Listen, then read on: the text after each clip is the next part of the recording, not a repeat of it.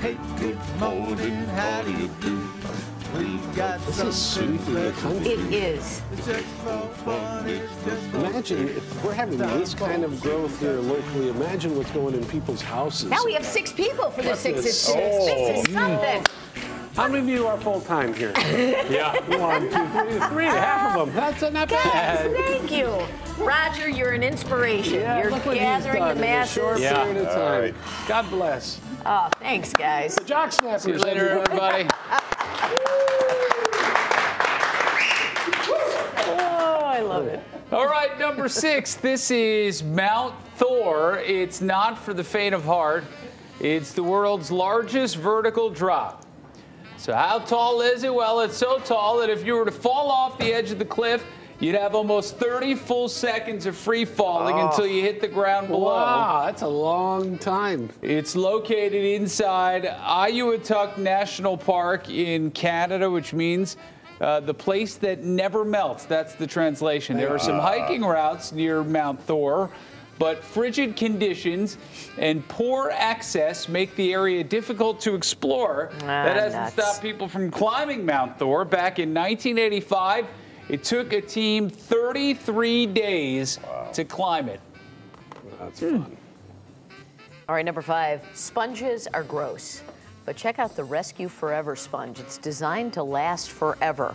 It has a special outer layer that's designed especially for knives and other sharp objects so you can scrub them without ripping the sponge apart. It's got spandex and other materials inside which make it ultra absorbent when holding onto soapy water, and it's antimicrobial.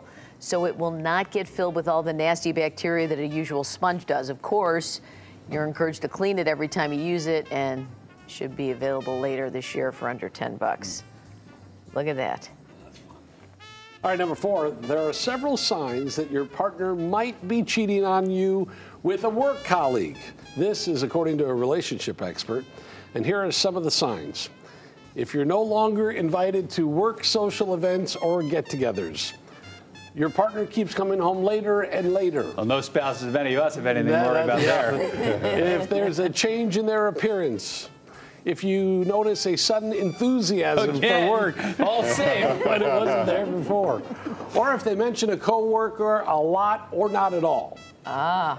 Uh, and if they're suddenly protective of their phone or other devices, red flags. Don't blame us. Blame Toby Ingham. He is a psychotherapist in the UK, and this is his list. All right.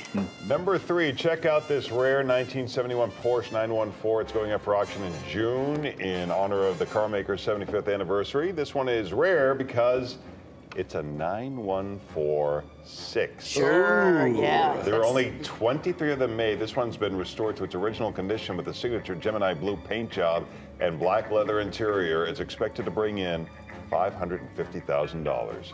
For information, check out Broad Arrow Auctions. All right. Number two, uh, we're looking at some of the most unusual perfume scents for 2023. Uh, they're being used in some high-end fragrances. Diptyque's new perfume, L'Eau Papier, uh, has an initial aroma of rice and sesame to evoke the scent of rice paper. Uh, but those are just the opening notes. Uh, once you spray it on, you'll be met with other scents, including golden mimosa and a touch of musk. By far's daydream of scotch is supposed to remind you of, chi- of your childhood. Good Hopscotch. hopscotch, not Not scotch. I don't know about your Oh, I didn't see the hop on that at all. Yeah, the scotch would make more sense for me. It's got notes of Play-Doh. Uh, vacation eau de toilette uh, smells like pool toys and swimsuit lycra. Uh, the point is to uh, create a very specific sense uh, of memories that will transport you and people back to exotic places. Like that exotic public swimming pool. Yeah, lycra pool suits. Mm. All right, number one already. This ad for United Airlines had the internet baffled for a bit. It said, fly to more than 200 places in the U.S. where you can wear pants outside. The initial response on Twitter was uh, confusion, obviously. Of course, you can wear pants outside in America. Uh, so a PR person from United Airlines tried to explain it, uh, which automatically means it's a bad ad if you have to Yeah. explain it.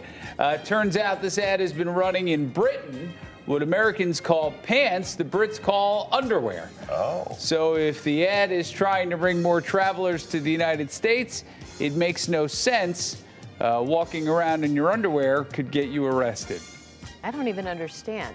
I know, I don't either. So I just read the story, You Robin. could wear your underwear established outside this. in Britain. Yeah. again, you're asking the wrong guy. Yeah. Maybe they think we Maybe. don't care about people wearing their underwear outside. Yeah. Yeah, Yeah. but I still don't understand why they'd want to wear underwear outside. Yeah. I don't get it. Just stay on your own side of the pond. and Let's just. that's one way to solve I it. still The don't director giving us the hook with Yeah. playoff Yeah. music. Yeah, they're like, They're like, now we're "Enough." done with you. Let's go. Let's we need to do go. more weather. Yeah. Let's get on it. Let's, So we the got, people if we care miss about. a weather hit, Yeah. God Oh, forbid. man.